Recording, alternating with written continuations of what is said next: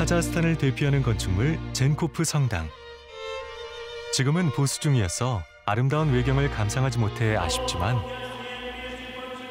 높이 54m로 세계에서 두 번째로 높은 목조 건축물입니다.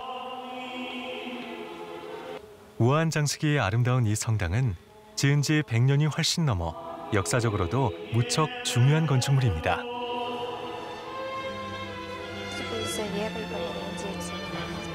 젠코프 성당은 러시아 정교회 대성당인데요. 카자흐스탄에는 이슬람교 다음으로 러시아 정교회 신자가 많습니다.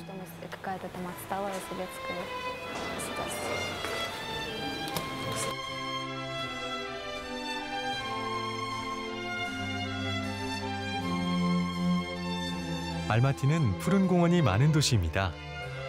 그래서 다른 공원들도 있어요. 버키 파크라는 곳이 웨딩 촬영의 명소로 각광받고 있는 이곳은 나자르바예프 대통령 공원입니다.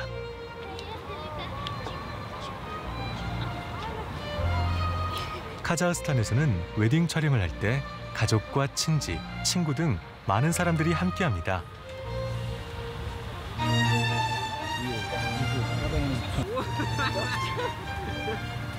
이 공원은 카자흐스탄의 초대 대통령인 나자르바예프 대통령이 개인 소유의 땅을 기증해서 만든 것입니다.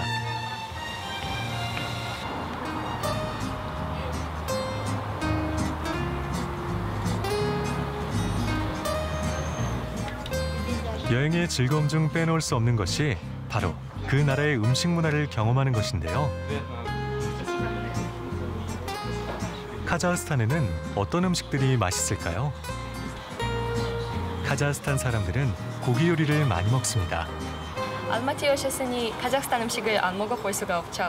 카자흐스탄 대표적인 음식 중에 베시파르막, 락만, 플롭, 그리고 양꼬치가 있는데요.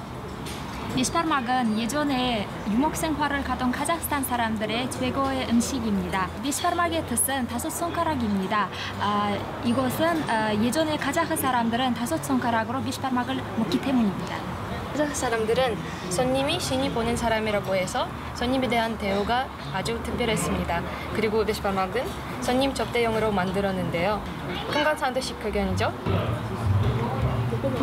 베시팔막은 반죽한 밀가루를 얇게 펴서 익힌 것을 바닥에 깔고 그 위에 말고기나 양고기, 소고기 등을 얹어 함께 먹는 음식입니다.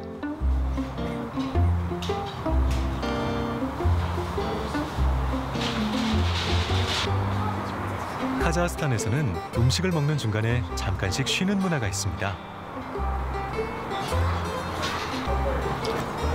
샤슬릭이라고 불리는 양고기 꼬치구이는 양념한 고기를 숯불에 구워낸 것으로 관광객들에게도 인기가 많은 음식입니다.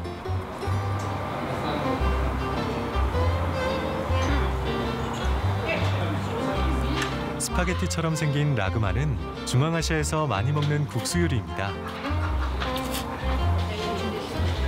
카자흐스탄은 유목민족의 문화가 음식에 고스란히 남아 있습니다.